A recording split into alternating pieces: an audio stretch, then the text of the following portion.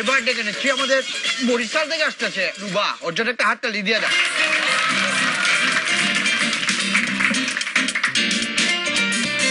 মোর স্বাস্থ্যহীন বন্যা। খুবই হাবাগোবা। পাঁচ মিনিট আগে যা কয়, তাও ভুললা যায়। একদিন মোর শাশিরে কইলাম শাশি বন্যা কালো কোনো কথাবার্তা কিছু কয় না। একবারে চুপচাপ থাকে। শাশি কইলো, মা, বন্যা হুন সকলের লগে হাইসা খেললা সুন্দর মতন কথা কবা। আচ্ছা ভালো কথা। বন্যা বিকালবেলা মোরে কইলো, চল দুবা, তুই আর মুই একলগে পুকুর পাকড়ে বয়ে বয়ে গপ্প করি। গেলাম।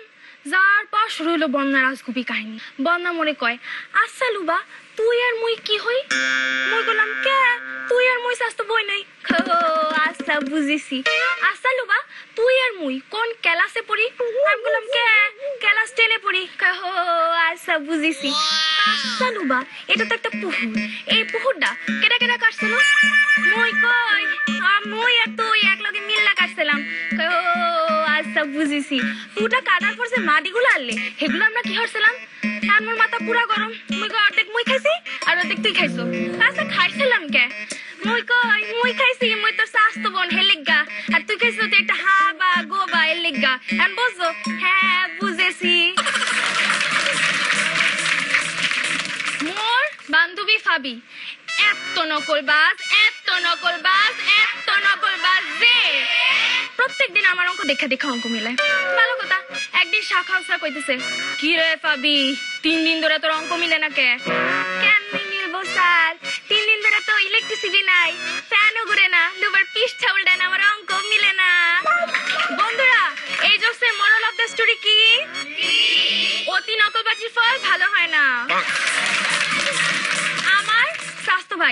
রিফাত, নিজের প্রতি নিজের কোনো কনফিডেন্স নাই।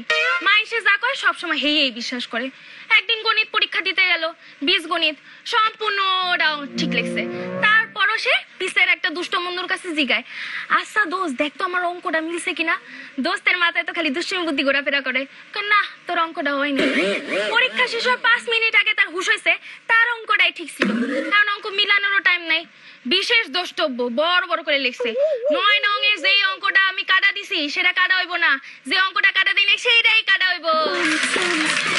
বন্ধুরা, এই জোকসের সার সংক্ষেপ কি? সব সময় নিজের উপর কনফিডেন্স রাখতে হয়। পরীক্ষার সময় পিসের মানুষের কথা বিশ্বাস করতে হয় না। মোর ছোট চাষি খুবই চালাক, কিন্তু কোনো কামই করতে পারে না। মোর চাষা একদিন কইলো যা মোর লাগে আলু ভর্তা বানাই লই হোক হ্যাঁ এই আর এমন কি পার মনে আসলে মোর ছোট চাষি আলু ভর্তা বানাইতে পারে না। তো মোর চাষি বড় চাষির ঘরে গেছে যায় কয় বড় চাষি কয় ও ছোট আইসো ব ব। না ভাবি বমু না আমি দেওরে কইছে আলু ভর্তা বানাইতে মোরাতে মেলা কাম। তো বড় চাষি কইলো আচ্ছা তাহলে যাও। ওই ঘরে তো কোনো কাম হইল না। আর মোর ছোট চাষি গেল মোর আম্মার কাছে। যার পর আমার আম্মা কয় ও ছোট আইসো ব ব। না ভাবি বমু না আমি দেওরে কইছে আলু ভর্তা বানাইতে মোরাতে মেলা কাম। তো আম্মা কয় এ কোন একটা কাম হইল আলুটারে সেদ্ধ কইরা পেঁয়াজ মরিচ দিয়ে ডলবা। কথা শেষ না হইতে মোর ছোট চাষি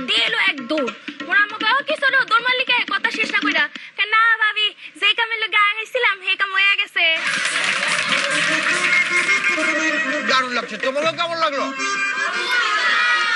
এবার আসতেছে আমগো ঢাকা আমগো ঢাকা সাত ওর জন্য কাজটা দাও আগে।